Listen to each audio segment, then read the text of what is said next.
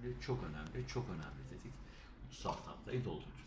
Şimdi bundan sonra 49 santim ulaştı. Şu anda e, kemik uzunluğuna göre de 36 hafta 2 gün çıkıyor. Şimdi zaten 36 haftadan sonraki doğumlar erken doğuma girmiyor. Yani bu şu anlama geliyor açıkçası. Bundan sonra doğum yapsanız bile korkmuyoruz. Küvez iş bile pek olmuyor onu söyleyeyim. Peki ağırlık ne kadar? 3 kiloyu buldum. İyi mi? İyi. Bir problem var mı? Bir problem yok. Eş yukarıda. Suyu iyi, fena değil. Çok fazla değil ama çok az da değil. Ondan sonra başı aşağıda. Bu önemli. Çünkü baş aşağıda olunca ayaklar yukarıda oluyor. Tekmeler durumda. Bakacağım. E, tekmeler yukarı atıyor. Yukarıda oynuyor. Veya yanlarda oynuyor. Böylece çocuğun ters yolda olmadığını anlıyorsunuz. Bundan sonra döner mi? Dönmez. E, doğum için bir düşünceniz var mı? Ne Yani mümkün olursa normal düşünüyoruz. Bir de iğne kullanıyorsunuz değil mi? Evet. Şimdi iğne kullananlarda biraz e, şu problem olabiliyor. Yani ben bunu korkutmak için anlatmıyorum. Biliyorsunuz o iğne kanı sulandırmak için iğne.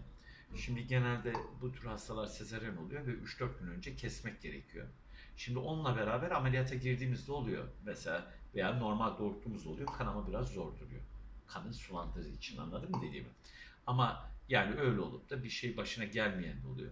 Bu ihtimali size söylemek zorundayım. Yarın bir gün ya doktor bey ben kanı sulandırıcı iğne, iğne kullanıyordum. Ya bu kanı sulandırdı bak doğumda başıma bu geldi, şu geldi olmasın diye. Gelmeyebilir maalesef problem yaşama ihtimaliniz de olabilir. Bu ihtimal olarak var maalesef. O tür şimdi onu bıraka bıraktıramıyoruz da çünkü genelde e, doğumdan sonra da bir hafta sonra 10 gün sonra tekrar başlatıyoruz. Onu da söyleyeyim. Tabii.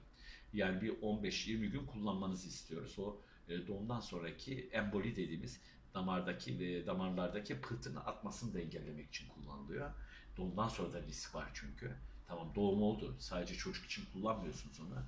Kendinizde pıhtılaşma ile ilgili bir problem olabileceği için kullanıyorsunuz. Yüzünü anlayabildin mi? Hı hı. Bak bu. Bak bize doğru biraz döndü. Şu an ne zamana kadar kullanayım? E, Şimdi e, normal doğuracaksanız onu bilemeyeceğiz. Bırakamayacağız. Şimdi zaten 36 hafta 4 gün haftaya NST'yi tekrar çektireceğiz. Eğer normal doğumsa yapacak bir şey yok. Önümüzdeki hafta ameliyatlık bir şey olursa ameliyat günü vereceğiz. O zaman bıraktıracağız. 3-4 gün önce. Haftaya mı? Haftaya esasında şöyle yani haftaya esasında ameliyat olacaksanız haftaya perşembe cuma yaparız ameliyatı. Bitti artık. Dediğim gibi artık iş bitti. Çünkü bunu bu anne karnında tutmanın bir anlamı yok. 38 hafta bitmiş oluyor.